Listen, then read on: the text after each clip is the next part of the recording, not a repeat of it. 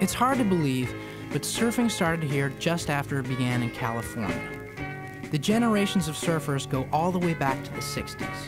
Surfing back then was surfing. That you know, if you wanted to surf, you had to be really hardcore. I mean, you had to surf basically naked, wearing your little like black O'Neill wetsuit with a zipper down the front and the little, uh, you know, floppy beaver tail. That's all they had.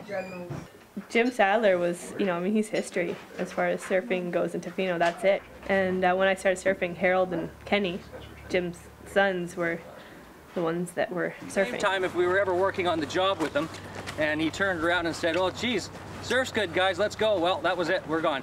Yeah. Fell off a roof in uh, Victoria on a church that he was building, and rode a sheet of plywood down to the ground.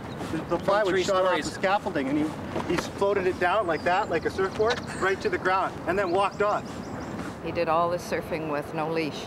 So every time he lost Oh, the but- board, he had to swim to shore. They shore. call me Jim Sadler. they called me Jim Paddler. Ready to go, you just go like this. Now you could paddle so fast.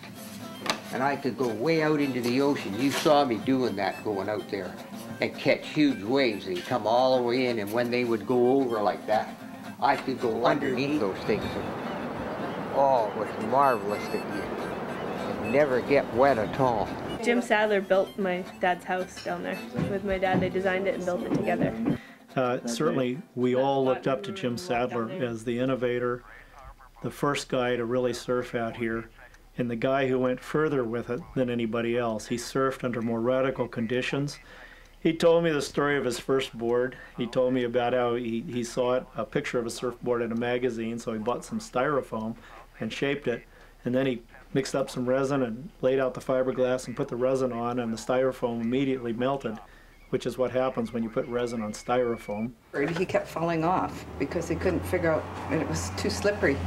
And so he went back and read the magazine and read something about wax. So he thought, first you put the wax on the bottom of the board, and that didn't work. so then he came back in and looked at it again and put wax on the top of the board, and then it finally worked. And he was very pleased. In the later days of Jim Sadler's surfing, I recall uh, hearing the whine of a little engine up in the sky. I was really hoping that it wouldn't come to that. No. well, when he discovered he could put an engine on the back of a hang glider, well, that that Yeah. changed everything. And I would look up and see this ultralight plane, and there would be Jim Sadler heading up to some secret beach up north with his surfboard strapped onto this little uh, ultralight plane. This thing, Yeah, the board. and, Yeah. and then tied it on my ultralight and flew it all Oh, the did way you? up and Yeah. onto Chesterman Beach over there. And he was the only guy who ever did that. I think he did it until he crashed one day in the bushes over by the Long Beach airport. Pictures Oh, for five years to There. be able to fly that thing for five years. Yeah. Oh, it was a marvelous thing. Nobody else could have ever had a better ultralight than I had. And I can still well. tell everybody that my dad was a surfing champion of Canada for two That's years. right. So. And at, at that time, the surf club that organized the contests were from Jordan River. The Jordan River Surf Club are the old boys of surfing around here. They saw what surfing in Canada was isolated, undiscovered, and they were determined to protect it. Well, we've had a reputation in the surf club for years of being non-welcoming, uh, mean-spirited, hard-hearted, uh, non-sharing locals. And we fostered that impression. We wanted people to think that, and when other people were there, we wouldn't say hello, we wouldn't help them, we wouldn't never let them in the sauna. If they came on our property, we kicked them off. We, there was, it was just a no friendliness attitude in the 70s, uh, those were probably the golden years. And back then it was totally pristine. So that there was no pollution, there was no crowd, there was, it was just like fun in the sun. The soul part of it sort of came and went with the idea being that that was your focus was to ride the waves rather than to be famous or make money or get girls or because it was the in thing to do the idea of somebody putting on a dive suit and going out and riding a plank to the beach in British Columbia waters where it's gray and cold and wet all the time generally, and to focus your entire life on, on riding waves. To me, that was the uh, era of soul. We were shaking our heads going, why isn't anybody else picking up on this? Surf magazines Jan and Dean, the Beach Boys, that whole Southern California, blonde haired, sandals, shorts, everybody hanging around the beach, Gidget, and all that stuff on TV contributed in a big way to it. And that's that whole beach bum thing really took off to the extent that it's a worldwide phenomenon now as part of the board culture.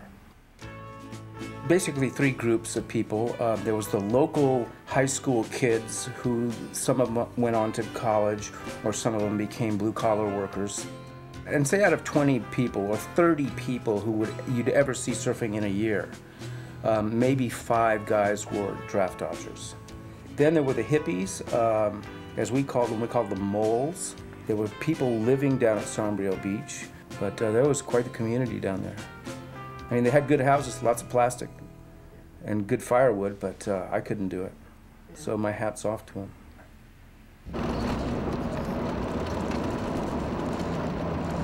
There's no signs to this beach.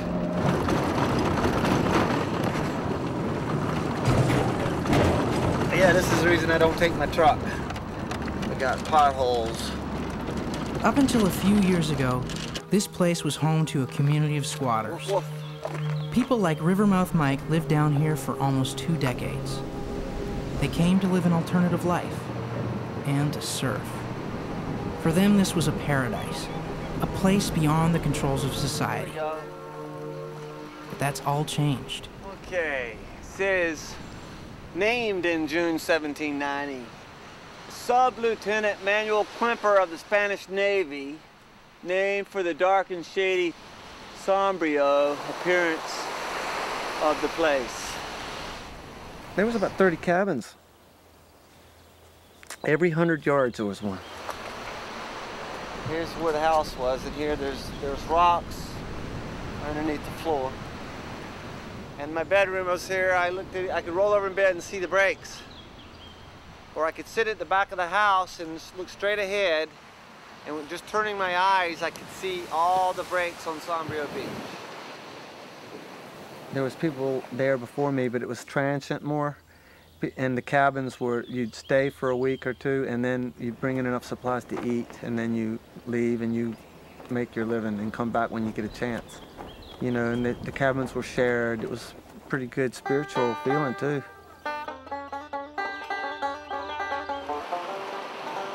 We're happy with the surf enough to make you stay. That's why we stayed so long.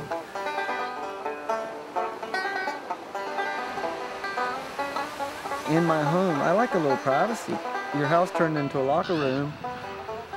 I didn't really regret leaving. It's time to go. Ice cream headache!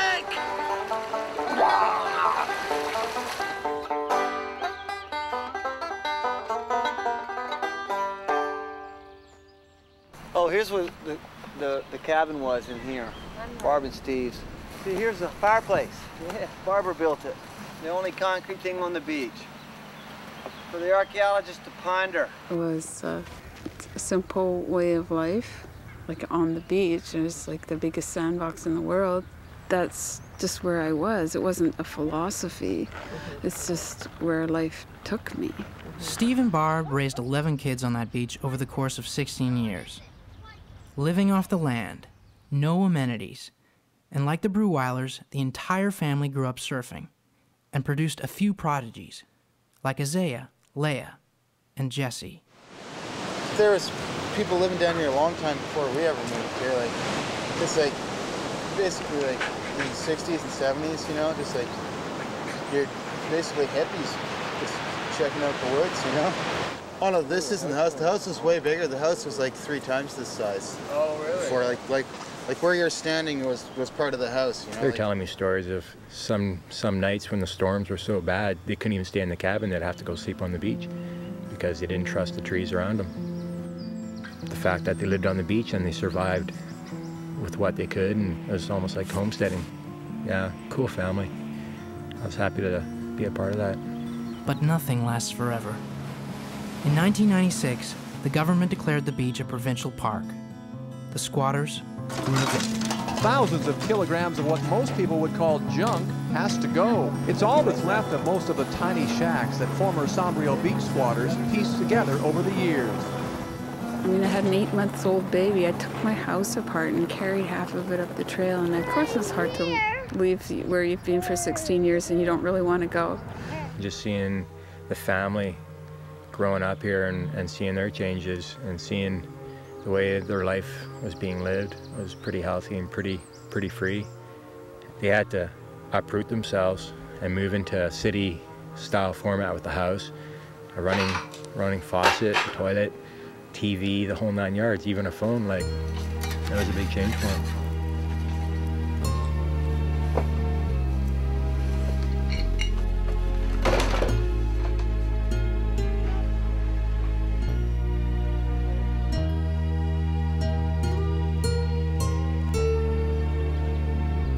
Why do we have to live in a little box on a little street? I don't know. I didn't make the rules. It's okay to leave. Road access, so crowded. People are just gonna keep coming. Now I have to come like everybody else. Eh? I have to come down by the tides when it's good. I used to enjoy the sunsets. Sombrio wasn't the same without the squatters, and they weren't the same without Sombrio. Within two years of moving away from that beach, a series of tragedies struck the Oke family. It all happened in 2000. They all died within three months. Um, they're all single car accidents. Yeah, that wouldn't happen if we were on the beach still for sure. Three deaths in the family within a period of three months. Clearlight, Dawn, and then Jesse. Jesse was going to be, I think, our uh, our big wave king surfer. You know, like before he died, we were talking about you know him going to surf Mavericks or YMA or something. Jesse Oke had the most balls I've ever seen. He wasn't scared of anything. You know, he made me want to charge harder and you know surf bigger waves. I knew him his whole life and uh,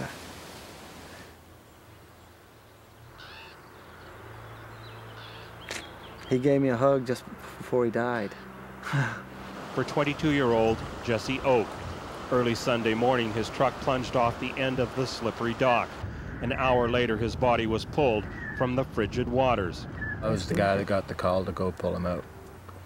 And I'm glad it was I'm glad it was me and not somebody who didn't know him and there was two other people in the truck and I'm glad it wasn't three trips down that I had to do. Hit his head, I guess, somewhere on, in the vehicle and two other people that were with him couldn't get him out because Jesse was a big, heavy guy, you know. He wasn't a small guy. He was a big guy. They couldn't get him out. You know, I started thinking, I go, you know, what better way to, you know, celebrate Jesse's life, which was centered around surfing, to you know, celebrate his life and his memory than to have basically all the surfers come together and a contest in memory of, uh, of Jesse. You guys, uh, well, we're doing it for Jesse. Let's, let's, let's surf. It was amazing, you know, it was end of February. Uh, the whole week leading up to the event was gray, drizzly, stormy. Raph ended up winning it yeah, it was. I don't think Sepp actually made the finals. He was in, you know, on a, on equipment that was a little too small for the conditions.